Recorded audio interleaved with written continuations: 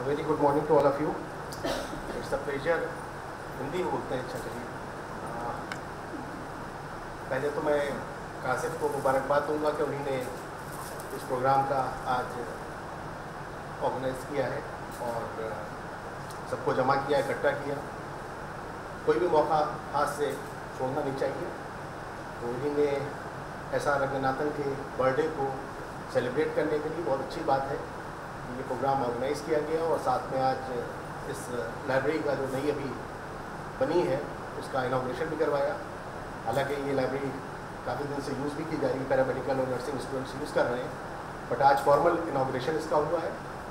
तो मुबारकबाद देता हूँ कासिफ को कि उन्होंने बड़े इंतजास्टिकली ये प्रोग्राम का ऑर्गेनाइजेशन किया और सबको इकट्ठा किया ताकि सब लोग आके देख सकें। बहुत मुबारकबाद आपको। और आपकी सारी टीम को। जहाँ तक रंगनाथन जी के बारे में, डॉक्टर रावत ने भी बताया काफ़ी। थोड़ा बहुत मैं भी उनके बारे में जानता हूँ वो बड़ा इंटरेस्टिंग पर्सनैलिटी थी वो। रंगनाथन साहब बेसिकली जैसे अभी बताया गया कि वो मैथमेटिक्स के प्रोफेसर थे टीचर मैथमेटिक्स के थे, मद्रास यूनिवर्सिटी में। और वहाँ वो मैथमेटिक्स पढ़ा रहे थे वो बहुत आराम से पढ़ा रहे थे, कोई उनको परेशानी नहीं थी मगर उनको लाइब्रेरी वहाँ पे जो थी यूनिवर्सिटी ऑफ़ मद्रास की, उसको ऑर्गेनाइज करने का जिम्मा उनको दिया गया। तो इनिशियली उन्होंने बड़े रिलेक्टेंटली उसको लिया। और, मगर जब वो वहाँ गए और काम करना शुरू किया तो उन्होंने क्योंकि टीचर थे वो बेसिकली और टीचर ज़ाहिर सी बात है बहुत स्टूडेंट से घिरा रहता है। तो जब लाइब्रेरी में गए तो वो आइसोलेटेड थे। He was not interacting much with people तो वो बड़ा उलझने लगे उससे, और वो छोड़ के भागे उससे। उन्होंने कहा साहब मुझे नहीं करना है, मुझे तो मैथमेटिक्स पढ़ा रहा था, मुझे पढ़ाने दीजिए और मैं ये सब नहीं कर पाऊँगा। मगर फिर उनसे कहा गया अच्छा उनको फॉर्मल कोई लाइब्रेरी की तालीम या एजुकेशन उसके बारे में कुछ भी नहीं था उनको, बिल्कुल। He was a mathematician he was teaching mathematics he did B N M in mathematics and that's he became the teacher आज़ादी से पहले की बात है, बहुत पहले की बात है, बीस पच्चीस साल पहले की बात है। एक सौ सत्ताईसवीं उनकी बर्थडे है तो ज़ाहिर सी बात है, आज़ादी से काफ़ी पहले की बात रही होगी तो मगर यूनिवर्सिटी ने उनको इंसिस्ट किया कि नहीं साहब, आपको लाइब्रेरी देखना है। और एक उनको ऑप्शन दिया गया कि आप इंग्लैंड चले जाएँ और लाइब्रेरी साइंस में जो भी उस वक्त डिग्री अवेलेबल रही होगी वहाँ पे, वो आप डिप्लोमा या डिग्री जो भी थी, वो आप करके आइए लंदन कॉलेज से।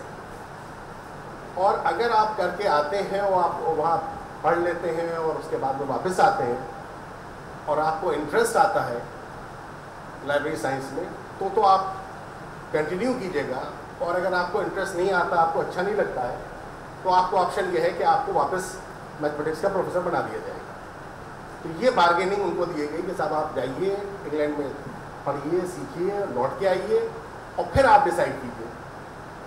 तो उन्हीं ने इंग्लैंड जाके पढ़ा और पढ़ के तालीम हासिल करने के बाद में जब मद्रास आए तो उन्हीं ने फिर वापस नहीं देखा और बहुत जैसे बता रहे थे रावत साहब, कि बड़ी मेहनत से बीस बीस घंटा काम करते थे और लाइब्रेरी में जुटे रहते थे। और उनके दो सबसे बड़े अहम जो एक, जो फाइव लॉज ऑफ़ लाइब्रेरी जो अभी उन्होंने बताई पूरी की पूरी तो एक तो उन्हीं ने फाइव लॉज ऑफ़ लाइब्रेरी दी। उसका पेपर उन्होंने पब्लिश किया। और वो बहुत बड़ा कंट्रीब्यूशन है लाइब्रेरी साइंस के लिए, जो हिंदुस्तान से हुआ। और दूसरा, उन्होंने कोलोन क्लासिफिकेशन दिया। तो दूसरा, दो चीज़ें उनकी बड़ी थी कि कोलोन क्लासिफिकेशन हालाँकि बहुत ज़्यादा यूज़ नहीं किया जाता, उसके बाद बहुत सारे कैटलॉगिंग और क्लासिफिकेशन आ गए। बट ये दो उनके बहुत अहम कंट्रीब्यूशन है लाइब्रेरी साइंस के बारे में। बहुत दिन उन्होंने काम नहीं किया, क्योंकि हुआ क्या कि वो लगभग रिटायर नहीं होने पाए थे। पचास पचपन साल की एज के रहे होंगे। कि वहाँ जो वाइस चांसलर आए, उनसे उनकी हो गई लड़ाई। और उन्होंने प्रीमेच्योर रिटायरमेंट लेके रिजाइन कर दिया। And he went into deep depression तो बहुत ही, उसके आगे की स्टोरी आपने रावत साहब ने बताई थी बट बीच की ये नहीं बता पाए तो वो डिप्रेशन में चले गए। और एक साल तक कुछ नहीं किया, घर बैठे रहे। उसके बाद उनको बनारस यूनिवर्सिटी से ऑफ़र मिला। और जहाँ जाके उन्होंने आज़ादी से कुछ दिन पहले ज्वाइन किया और फिर उन्होंने बी एच यू की लाइब्रेरी को पूरा ऑर्गेनाइज किया। दस हज़ार बुक्स उस वक्त उन बुक्स को ऑर्गेनाइज किया कैटलॉग किया और हेल्प की वहाँ पे। और वहाँ काफ़ी दिन काम करने के बाद में वो रिटायर हुए और रिटायर होने के बाद में फिर दिल्ली यूनिवर्सिटी में गए, जहाँ एज एडवाइज़र वो रहे काफ़ी दिन तक। और उसके अलावा उन्होंने लाइब्रेरी साइंस को डेवलप करने के लिए हिंदुस्तान में बहुत काम किया। इसीलिए उनको father of library science in India कहा जाता है। इसीलिए उनका बर्थडे जो है वो मनाया जाता है आज का बारह अगस्त है बेसिकली तो बारह अगस्त संडे था तो इसलिए आज मनाया जा रहा है। तो मैं लाइब्रेरी से एसोसिएटेड जितने लोग हैं, उनको सबको मुबारकबाद दूँगा कि डेडिकेटेड आदमी था, जिसको अनविलिंग आदमी था, मगर उसको एक ज़िम्मा दिया गया और उसको लोगों ने बढ़ाया। और कैसे उसने डेवलप किया हिंदुस्तान में लाइब्रेरी साइंस को, जो फैकल्टी बन गई है डिपार्टमेंट बन गया है, जहाँ टीचिंग भी की जा रही है, और बहुत कुछ किया जा रहा है। मेरा थोड़ा सा एक्सपीरियंस रहा है अलीगढ़ में, जब मैं पढ़ रहा था तो वहाँ देखता था कि अलीगढ़ की लाइब्रेरी जो थी, मौलाना library one of the richest libraries मेरे ख्याल से एशिया की है। बहुत किताबें हैं और बहुत सारे रेयर डॉक्यूमेंट्स हैं जो डिफरेंट किंग्स ने और नवाबीन ने उनको वहाँ डोनेट किए हैं और rarest of the rare documents वहाँ पे अवेलेबल हैं। हज़रत अली के हाथ का लिखा हुआ खूफी ज़बान में कुरान भी वहाँ रखा है, जो हिरन की खाल पे लिखा हुआ है।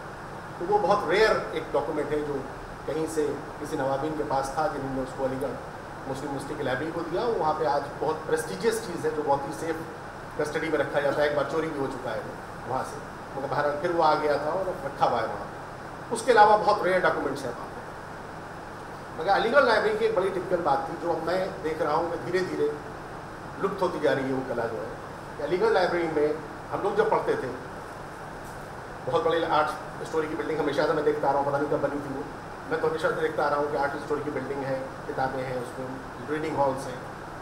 और वहाँ मारा मारी रहती थी रीडिंग हॉल में सीट लेने के लिए। तो हम लोग जाते थे और वहाँ पे किताब रख के आते थे ताकि वहाँ पे क्लास के बाद जाके, सुबह जाके सीट खेल लें, ताकि पढ़ने के लिए आसानी रहे वहाँ।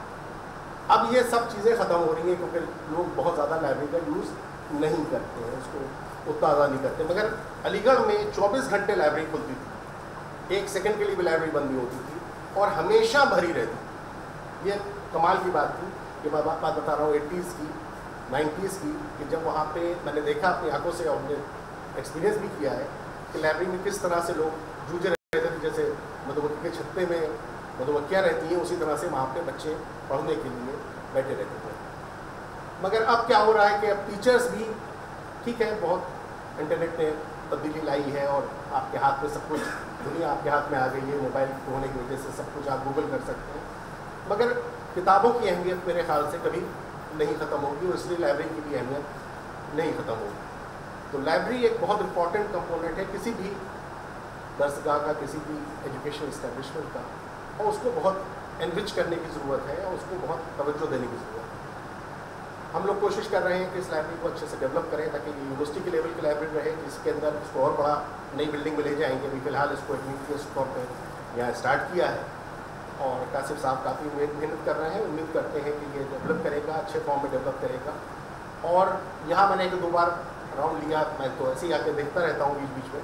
मगर यहाँ मैं देख रहा हूँ कि बच्चे के साथ कुछ बैठे रहते हैं और पढ़ा करते हैं। तो एक अच्छी बात है, एक अच्छा ट्रेंड है कि अगर उसको लाइब्रेरी का यूज़ किया जा रहा है, मगर ये कि इन जनरल मैं देखता हूँ कि जॉर्ज मेडिकल यूनिवर्सिटी में और सी में पहले मैं देखता था कि लाइब्रेरी भरी रहती थी। अब हार्डली एनी विजिटर्स रहते हैं कि लोग परेशान होते हैं कि इवन क्वेश्चन करने लगे कि लाइब्रेरी के एग्जिस्टेंस के ऊपर कि लाइब्रेरी रखी जाए कि ना रखी जाए, कि इतना इन्वेस्ट किया जाए कि ना इन्वेस्ट किया जाए।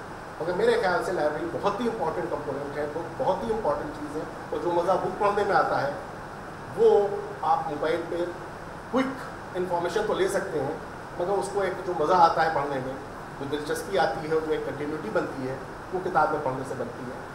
तो मेरे ख्याल से लाइब्रेरी एक बहुत ही इंपॉर्टेंट कंपोनेंट है और हम आज का दिन जो मना रहे हैं यहाँ पे, इसको मेरे ख्याल से हर साल मना देना चाहिए ताकि लोगों को इसके बारे में जानकारी भी मिले और लोग इंटरेस्ट जनरेट हो तो एक बार फिर मैं मुबारकबाद देता हूँ आप सबको और शुक्रिया आप सबका कि आप सब लोग अपने बिज़ी शेड्यूल में से यहाँ पे आए और कासिफ साहब की मदद की बहुत बहुत शुक्रिया।